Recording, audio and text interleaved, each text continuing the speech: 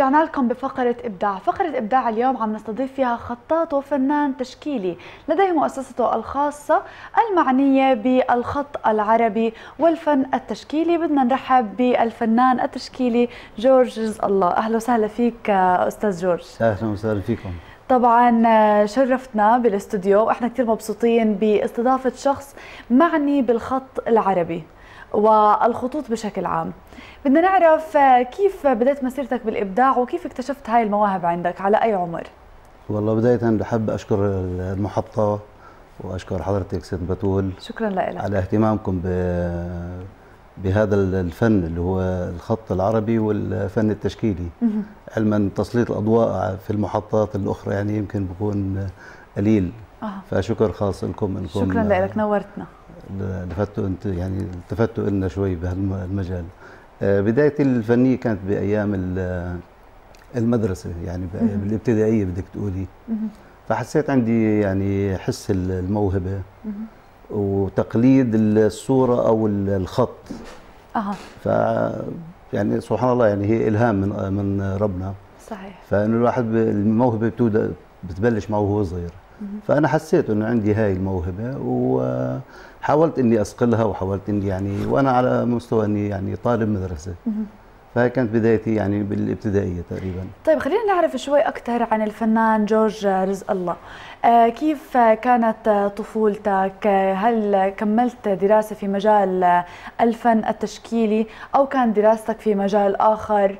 يعني لو بدنا ناخذ نبذة قصيرة عن الفنان جورج رزق الله إيش ممكن تحكي لنا؟ آه بدايتي كانت آه، زي ما قلت لك في بالابتدائية و آه، كأني أدخل في مراكز أو معاهد لتعليم الخط والفن التشكيلي للأسف ما كان زمان طبعا الوضع مختصر وقليل آه، تلاقي مركز أه. مثلا شخص يتبناكي أو معهد أو مركز تعليم إنه يعلمك أه. فشقيت طريقي بإيدي أنا زي ما تقولي اجتهاد أه. شخصي مني على مستوى بدائي كان أها. تدريبات شخصية وممكن إنك كنت تشوف صور وتقلدها مثلا؟ تعمل مثلها. آه يعني أنا مثلا كنت مثلا أمشي بالشوارع وأطلع على اللوحات الإعلانية والأرمات لأن كان زمان تكتب بخط اليد. صحيح. فلما بتعرف العين هي زي الكاميرا. صح. لما أروح على البيت أتخيل اللوحة اللي شفتها اللي عجبتني أه. وأحاول أقلد زيها. فهي كانت هي الوسيلة البسيطة أيام زمان. طيب بمسيرتك الفنية إيش حسيت من أهم الأعمال اللي قمت فيها إن كان بالفن التشكيلي أو بالخط؟ والله على مدى 30 سنة يعني صعب أحصر لك الموضوع. طبعا الخط عندي أو الفن التشكيلي دخل في أكثر من مجال. يعني يعني ممكن أنا المدارس يعني أشتغل فيها مثلا كوسائل تعليمية حلو. للطلاب أه. وللمحلات بشكل تجاري. وممكن أي شخص يستفيد من مهنتي. صحيح. كمثلا على سبيل مثلا كتابة دواوين الشعر كتابة عناوين الكتب كتابة كروت الأعراس تصميم اللوجو. يعني مجالي واسع في هذا المجال. وكل قطاعات يعني الحياتية ب... بحاجة لها بحاجة يعني بتشوف في إقبال كبير من الشارع الأردني إلى الفن التشكيلي وتقدير للخط العربي وأنواع الخطوط اللي بتستخدموها كخطاط والله إحنا أنا شخصيا أو يعني. بدي أحكي عن زملائي في هذا المجال بنلاقي يعني صعوبات. يعني قليل من الناس اللي بيتذوقوا فن الخط العربي أه. أو الفن التشكيلي. يعني أحيانا بتشعري إنه بتتعبي بالشيء صحيح. أو باللوحة. تعرضيها على ناس أو كذا يعني أكثر من إنه مجاملة آه حلوة وبس. بس في طبعا ناس يعني إنه يعني ما بيخلى الموضوع إنه في ناس بيقدر وبي يعني بيكافئك بالإطراء الجميل إنه يعني هذا الفن الجميل ليش يعني ما تطلعوا أو تظهروه أكثر؟ آه فإحنا بنلاقي تشجيع من يعني بنسبة يعني بدناش نقول معدومة بس ولا نقول إنه كثير. يعني مقبولة بس هاي برضه بترى يعني بكون حافز لنا شفنا بالفترات الأخيرة ما بعرف إذا بتوافقني عم بيستخدموا الخط العربي بشكل كبير بالديكورات حتى عم بحفروه على شكل خشبيات وبيستخدموها بديكورات المنازل. ممكن تحكي لنا أكثر عن هذا الموضوع؟ والله هذا زي ما بيقولوا فن جديد فن يعني فن الإلكتروني أو الحفر بطريقة الليزر. أها. يعني زمان ما كان هذا الحكي كان موجود. بس يدويا كان. يعني الواحد يتعامل مع الحرف بتصنيع يدوي. الأيام اللي إحنا فيها يعني ال- التكنولوجيا دخلت على مجال الخط العربي كتصنيع للحرف بس مش إنه تكتب الحرف. أها. فاستفدنا من عملية تنفيذ الحرف بشكل مثلا آه، جميل. ممكن آه. يدخل بديكورات الاستوديو مثلا بالبيوت بالفلل بالقصور بالأماكن العامة. آه، بتعطي شيء من الجمال. بشوفي يمكن صيحات جديدة لاستخدام ال- الخط العربي. مثلا هل يستخدم بالشكل الشرقي لأنه شفناه ما أيام ب- بالديكورات بيكون معمول له حواليه آه، فريم معين أو إطار آه، معين. في إقبال على أنه الناس عم تقبل على هذا الحكي على استخدام الخط الشرقي في بيوتهم؟ آه، لاحظت أن هذا الحكي يعني من حوالي خمس سنوات. وفي شغلة جميلة أنا لاحظتها كمان بشغلي بطبيعة شغلي أنه الأجانب بيحبوا خطنا العربي. جميل. أنا بيجيني كثير أجانب مثلا أها. بيزوروا الأردن مثلا آه، بيدوروا على خطاط يكتب خط يدوي وخاصة أسمائهم أو آه، يعني أنا من يومين جاني مثلا شخص أجنبي يتذوق شكل ال- الحرف وجايب لي آه، قصيدة لمحمود درويش. حلو. آه بيقول أها. لي بدي أكتب هذا الكلام. أنا مش فاهمه بقول لي بس أنا عجبني فسروا له إياه. أها. فطلب مني إني أكتب له إياه. فكتبت له إياه. حلو. غير إنه صراحة يعني أو كيف بدي أقول لك آه، الأجانب يعني دخلوا في الاهتمام أكثر منا كعرب. صحيح. بدليل إنه مثلا بيجيني الأجنبي صار يجي إنه يوشم على جسمه خط عربي.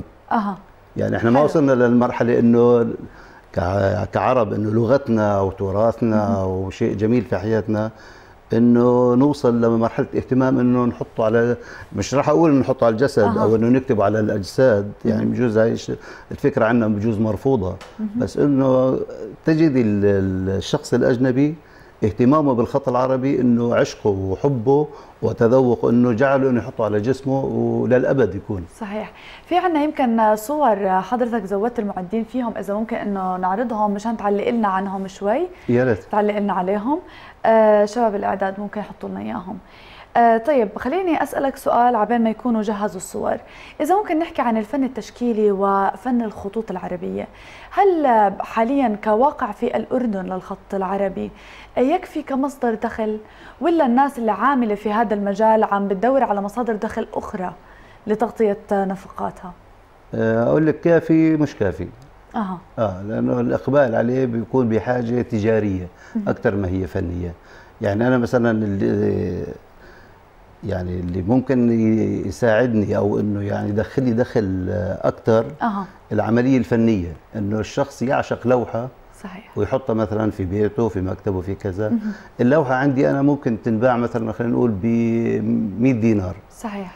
بعكس الإعلان الإعلان ممكن أبيعه ب 20 دينار. أها. فأنا بكون تواق أو يعني يعني مستني لحظة إنه الشخص يتذوق ويطلب مني لوحة.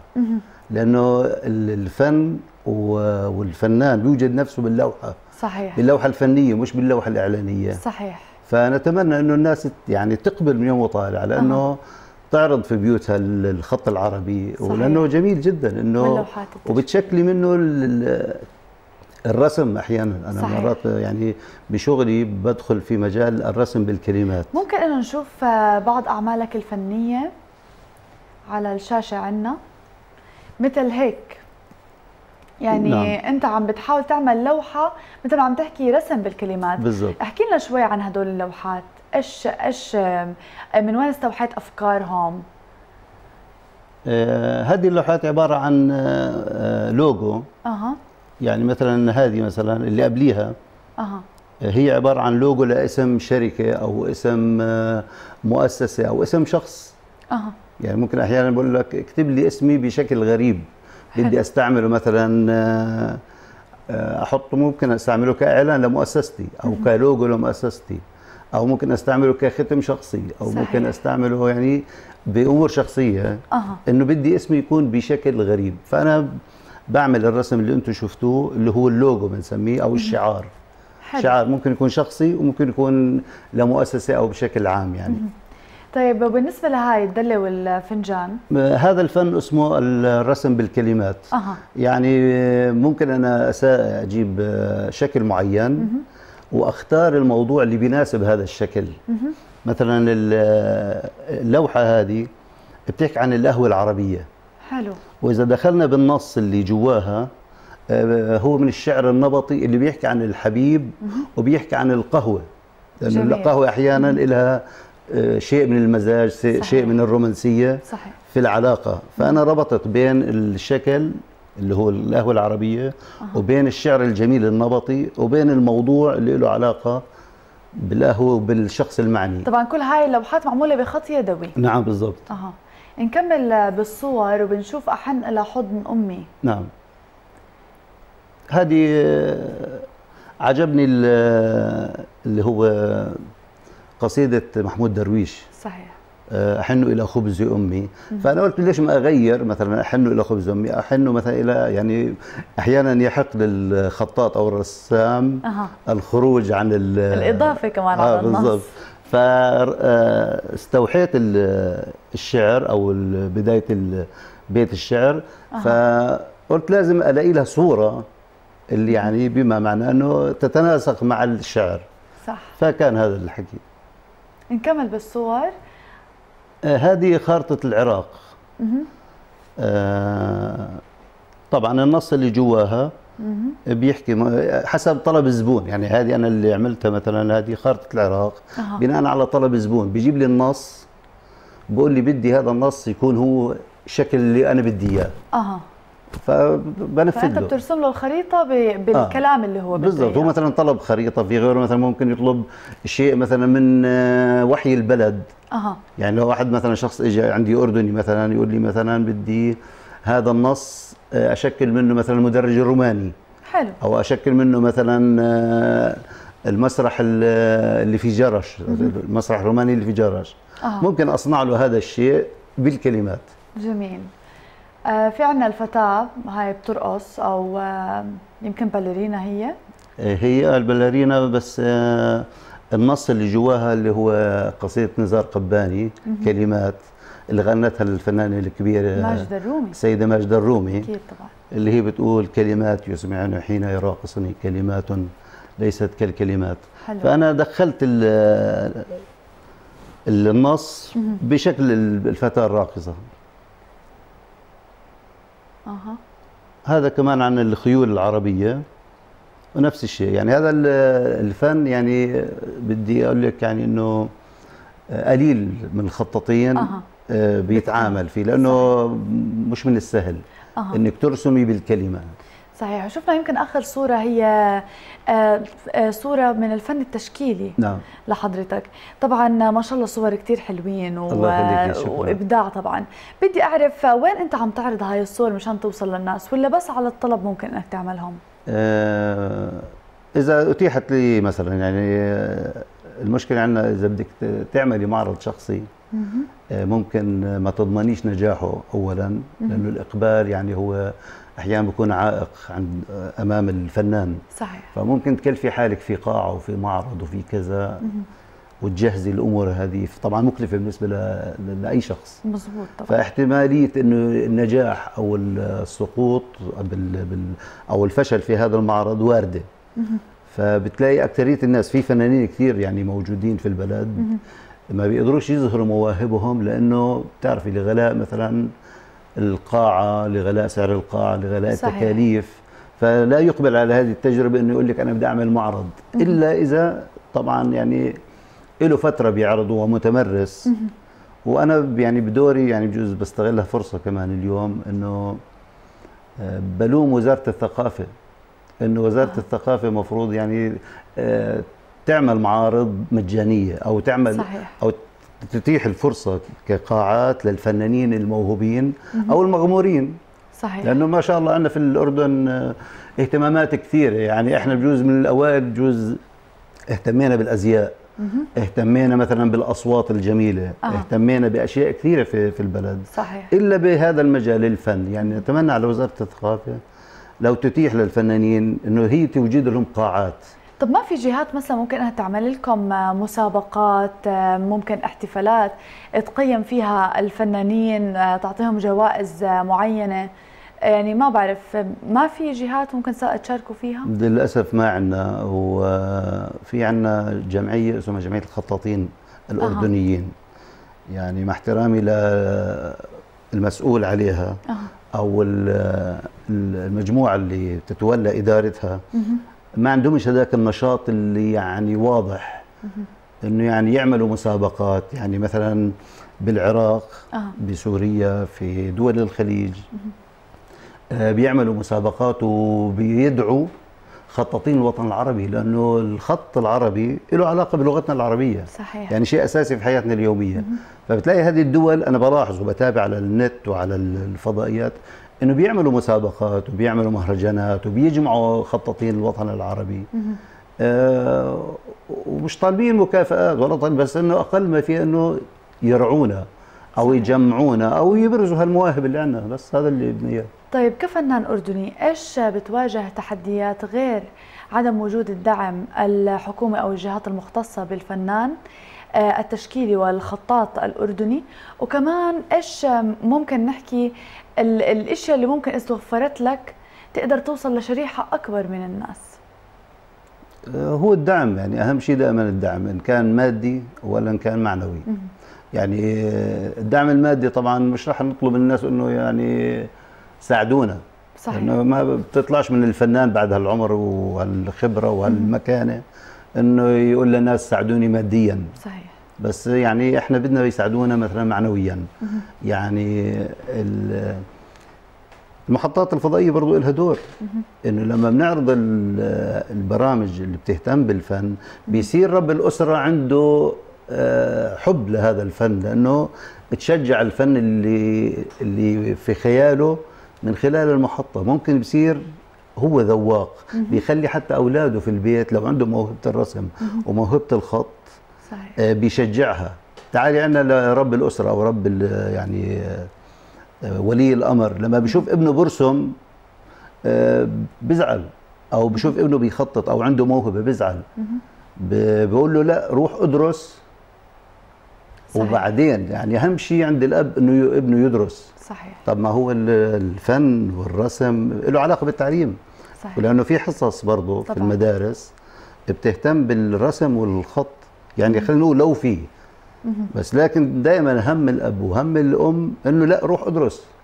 على حساب إنهم يقتلوا الموهبة صحيح. عند هذا الطفل. لا شجعوا انت لما تشجع ابنك ابنك بيكبر بيصير يحب شغل غيره. يعني أنا مستعد يعني في عندي مثلا أطفال بيجوا بيوقفوا قدام المؤسسة أو قدام المحل تبعي. آه، أطفال يعني بسمع منهم كلمات إطراء جميلة ليه لأنه صحيح. يمكن في البيت تشجعوا إنه من الأهل إنه اهتموا بهذا المجال. صحيح بنتمنى طبعا كل الأهل يدعموا مواهب أه... أو أبنائهم لأنه هالجيل الكبير لازم يسلم للجيل اللي بعده. والأطفال عندنا هلأ يمكن الأهالي عم بي... عم بتفننوا بتعليمهم اللغة الإنجليزية والخط الإنجليزي. بنتمنى إنه يكون في تركيز شوي حتى لو كان من المدارس ووزاره التربية والتعليم للخط العربي. للأسف بد... sorry بدي يعني من يعني الأيام اللي جاي بتحسي إنه الخط العربي حتى لغتنا العربية رح أه. يعني بديش أحكي لفظ إنه بتموت.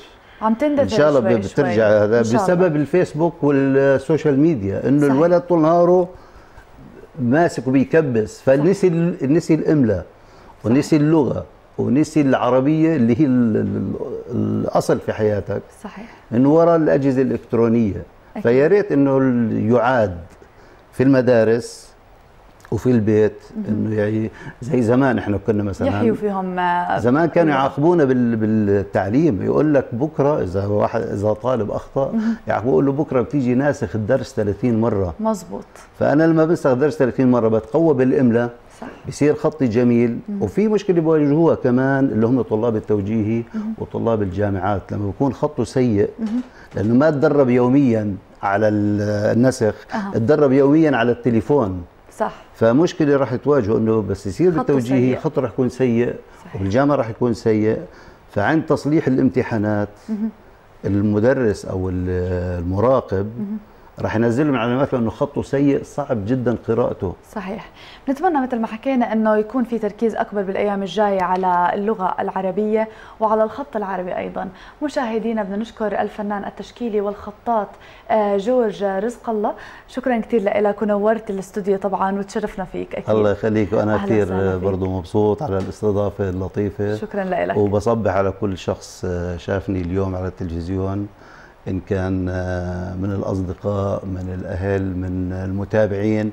وبصبح على كل شخص بيتذوق هذا الفن.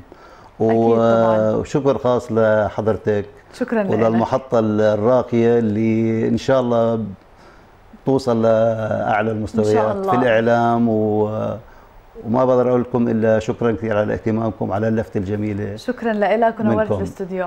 مشاهدينا بعد هالفقره الرائعة مع الفنان التشكيلي والخطاط جورج رزق الله نطلع فاصل وبنرجع لنكمل حديث اليوم. انتظرونا.